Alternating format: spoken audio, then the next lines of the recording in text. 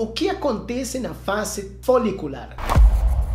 Então, para que vocês entendam como funciona a fase lútea, nós precisamos entender primeiro como funciona a fase normal. O que significa isto? Estimulação em fase folicular. A fertilização in vitro tradicional, ou o minifiv, ou qualquer fertilização in vitro, ela tem, e, e o ciclo natural também, ele tem duas fases. Uma fase folicular, que é essa fase inicial, onde você menstrua, e depois de menstruar, com medicação ou sem medicação, menstruamos e começam a crescer os folículos. Chegou a metade do mês e você ovula. Se eu utilizo medicamentos, consigo aumentar e aproveitar melhor estes folículos. Mas o que acontece com depois? Existe aquela fertilização dos óvulos, eles vão virar embriões e durante a fase lútea, naturalmente, esses embriões entrariam dentro do útero e produzem uma gravidez. E na fertilização in vitro, na fertilização in vitro também,